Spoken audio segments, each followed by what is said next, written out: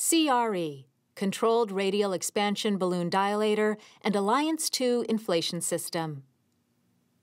The Alliance 2 Integrated Inflation Handle is a non-sterile reusable tool used with the sterile, single-use Alliance 2 syringe gauge assembly, sold separately, designed to simplify inflation and deflation of balloon dilatation catheters.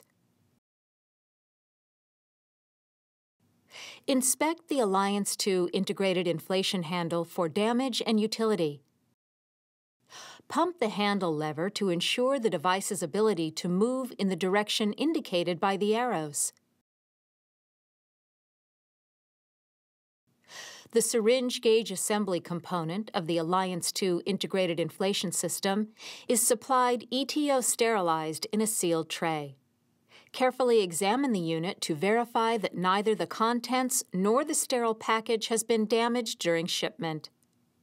Turn the lever on Alliance 2 inflation system handle upward, neutral position.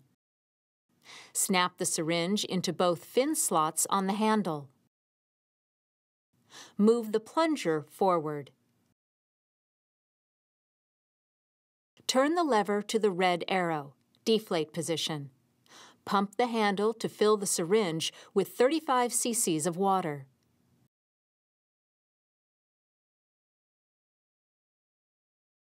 Turn the lever to the green arrow, inflate position. Angle the gun upward. Pump the handle to purge the air from the syringe. Attach the CRE balloon catheter to the syringe at the luer connection. Turn the lever back to the red arrow. Pump the handle until it stops removing air from the catheter, creating negative vacuum. Remove the protective sleeve from the balloon. Endoscopically place the balloon in the stricture. Angle the gun downward to purge air bubbles in the syringe. Turn the lever to the green arrow, inflate position. Pump the handle to inflate the balloon to the stated pressure corresponding to the desired diameter.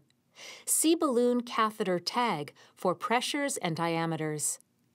Hold the specified pressure at each diameter for desired time. Assess the stricture.